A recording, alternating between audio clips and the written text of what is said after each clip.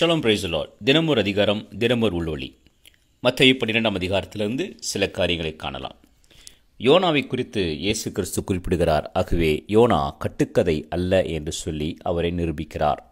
தாராளவாத இறையியல் கருத்தாளர்கள் ஆதியாகம முதல் பதினொன்று அதிகாரத்தையும் யோனா நூலையும் தானியரின் சில பகுதிகளையும் விசுவாசிப்பது கிடையாது. ஆனால் இவையெல்லாம் உண்மை என்று சொல்லி இயேசு கிறிஸ்து நிரூபிக்கிறார். தென் தேசத்து ராஜஸ்திரி இந்த ஜனங்கள் மீது குற்றம் சுமத்துவார் என்று சொல்லி இயேசு கிறிஸ்து சொல்லுகிறார். ஏன் அவர் அவிதமாக சொல்ல வேண்டும்? பத்தாம் அதிகாரம் ஒன்று ராஜாக்கள் பத்தாம் அதிகாரத்தில் வாசிக்கும் பொழுது உம்முடைய ஜனங்கள் பாக்கியவான்கள் என்று சொல்லுகிறார். உம்முடைய ஞானத்தை கேட்கிற ஜனங்கள் பாக்கியவான்கள் என்று சொல்லி தென் தேசத்து ராஜஸ்திரி சொல்லுகிறார். சாலமோனுடைய ஞானத்தை கேட்கிறதான ஜனங்களே பாக்கியவான்களாக இருப்பார்கள் என்றால் அந்த ஞானமே நின்று பேசுகிறது அதை உணராத ஜனங்கள் எவ்வளவு துர்பாக்கியசாலிகள். அதைத்தான் இயேசு கிறிஸ்து இங்கே குறிப்பிடுகிறார்.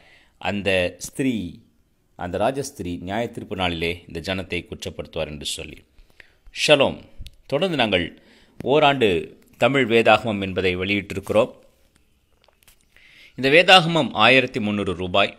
இதில் பல சாராம்சங்கள் இருக்கின்றன.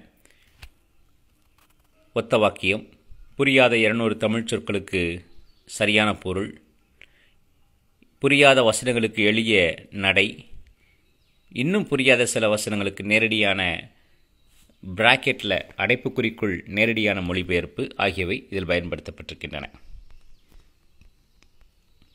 இயேசு கிறிஸ்து பேசிய கல்வாரின் அருட்செய்தி. இந்த நூல்தான் ஏழு வார்த்தைகளுக்கு முதல் எபிரேய கிரேக்க சொல்லாய்வு விளக்க உரை.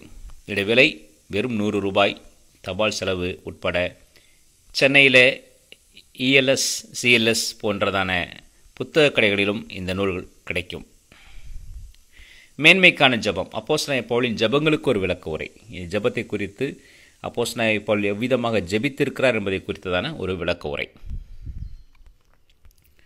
ஃப்ளாஷ் கார்ட்ஸ் தமிழில் முதன்முறையாக எபிரே கிரேக்க ஃப்ளாஷ் கார்ட்ஸ் இதோடைய விலை முன்னூற்றி அறுபது ரூபாய். இதோடைய முன் வெளியீட்டு திட்டம் சென்று கொண்டிருக்கிறது. தேவையுள்ளோர் எங்களை நீங்கள் தொடர்பு கொள்ளலாம். ஃபோன்பே இல்லை கூகுள் பே மாத்திரம்தான் எங்களிடம் இருக்கிறது.